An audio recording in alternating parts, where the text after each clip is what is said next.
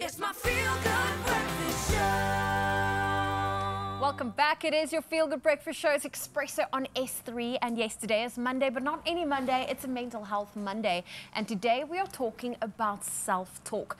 The way you talk to yourself has profound implications for modern mental wellness, especially in today's digital age. Now we have Joy Desfountain, co founder of So Serene, a digital well being platform focused on supporting mental health. And we also have Maya Ritzstein, product architect for So Serene, joining us to offer some insight on how we can get better at self talk. Ladies, great to have you here. Thanks for having us. Yeah, thank you. Uh, I'm interested to know what self-talk was going on in your heads on the way into studio this morning. Great. We'll soon know whether it was the right or wrong self-talk. we, we tease ourselves. There's a stretch of highway as you come in here, just before you, and, and we all have to get to a point of, for me, it's gratitude is generally what I use, but it matters. Yeah. So. How, how often do we talk to ourselves in a day? I've heard ridiculous numbers, like a thousand times. Give us a, a- an indication of how much we are speaking to ourselves and how much of that, by the average, is negative. Mm-hmm. so we are speaking to ourselves consistently from the time we wake up to the time we go to bed at night. And often going. depend it's going the, constantly. And depending on where we are in our life, whether you are kind of a youngster, whether you are newly married, whether you've got kids. My child today is writing science. And Thanks I for looking at me when you said whether you're a youngster. That was just, my self-talk just went. But I mean, from a young age, you talk, you you've got this thing of your, your mind telling you different things, and and I know my my young one who's writing science this morning. I mean, that's that has been going through his head the whole night. So when I woke up before I left here this morning at five o'clock, he's like, "Mom, I don't even feel like I've slept."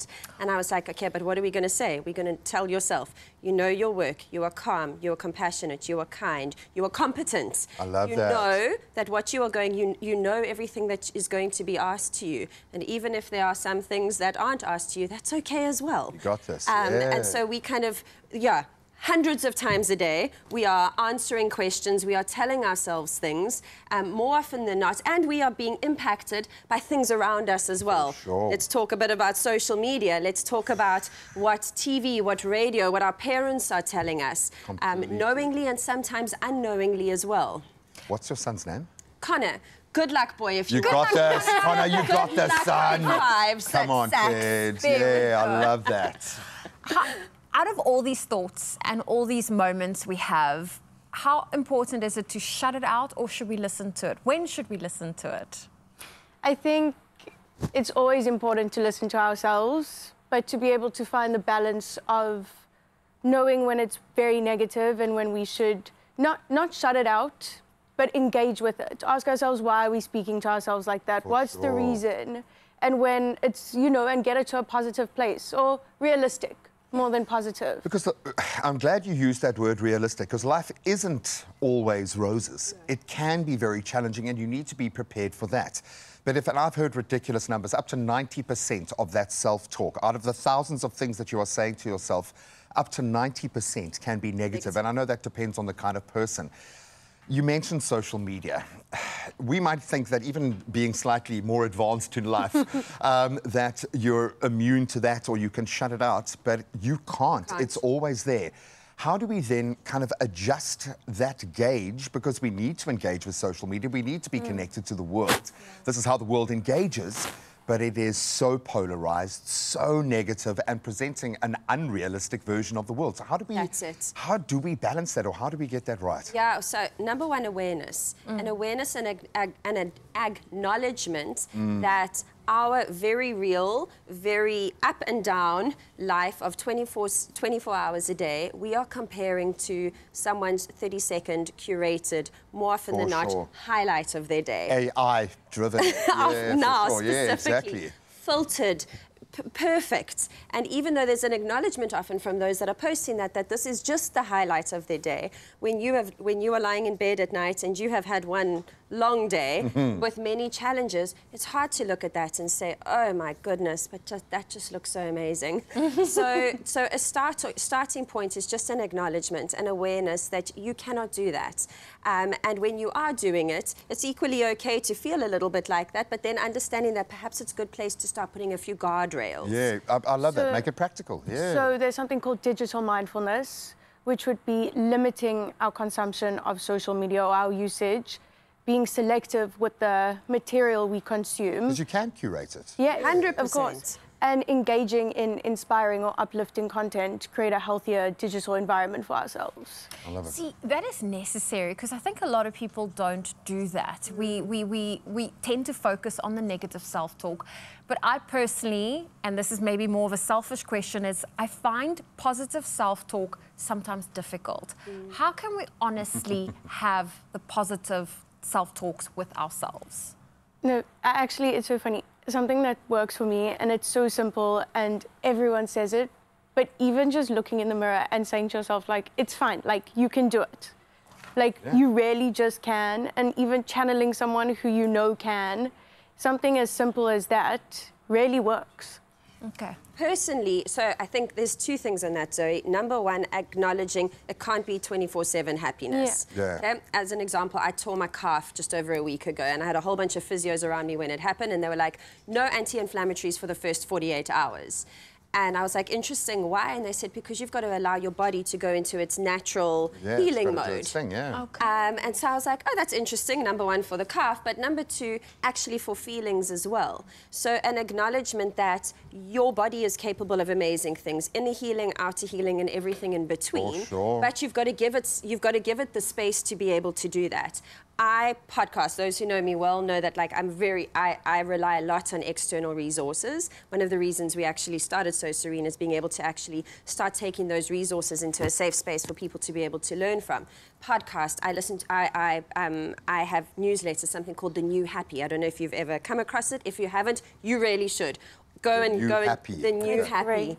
It is amazing on social media. Um, it's American, I think, um, as well as newsletters. And it's just, they have an amazing way of putting down, making complicated feelings very straightforward. Last week, as an example, um, there was a visual with a lot of different color balls all together, okay, all overlapping, etc. And at the bottom of that were beautiful balls in a straight line, all different colors.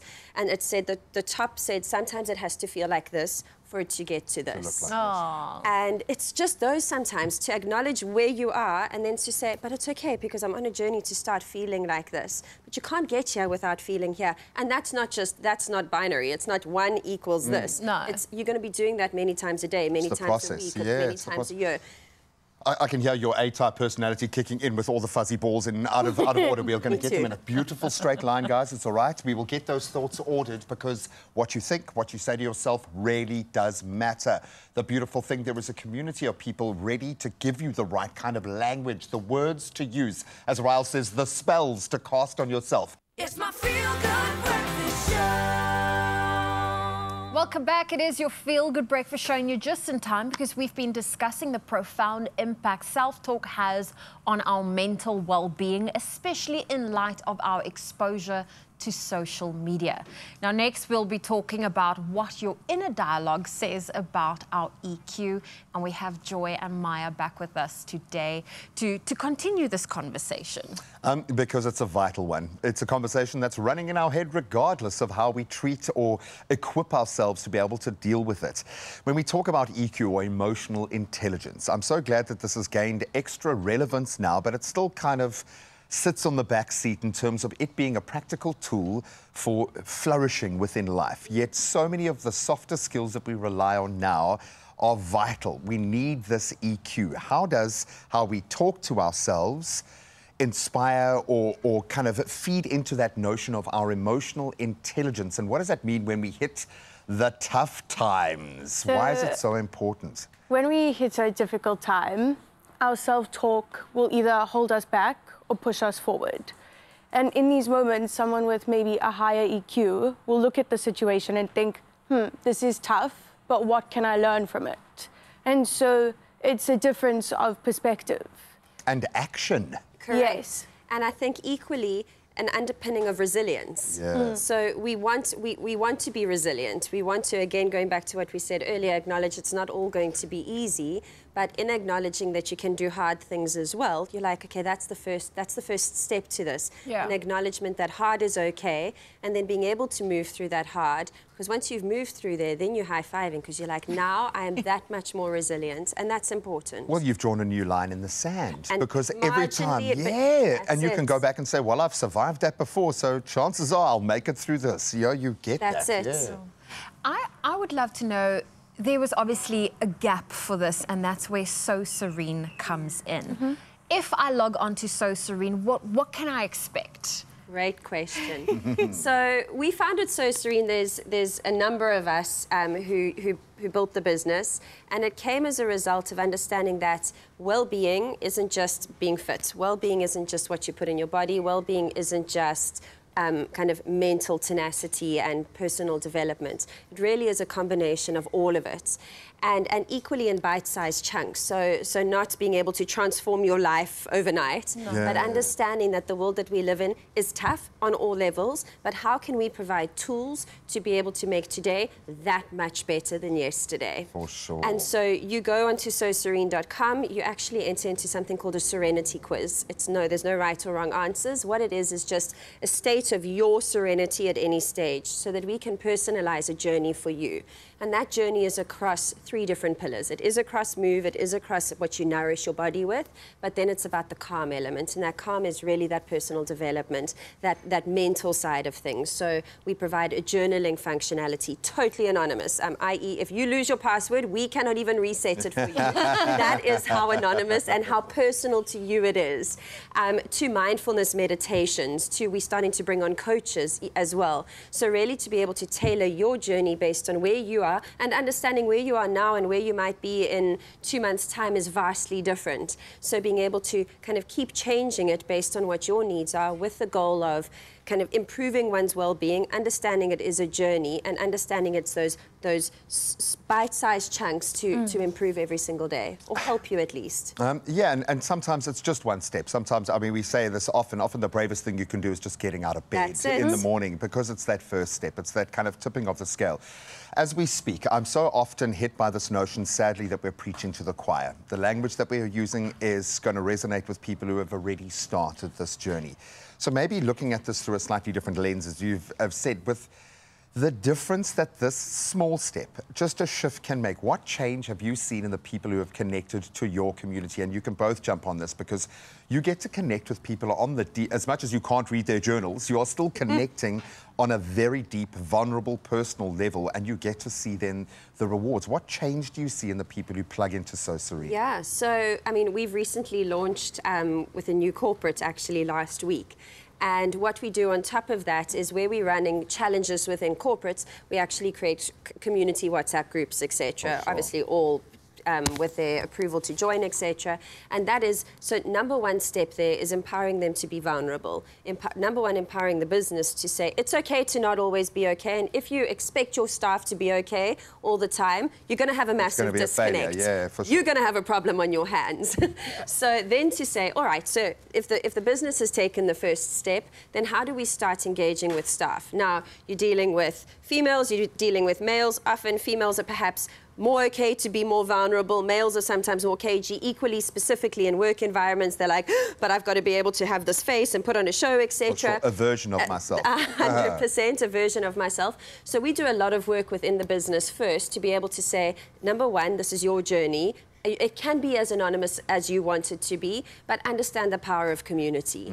And if we're able to be able to be just that little bit vulnerable with each other, um, believe me, it's, there's going to be a huge beauty in that.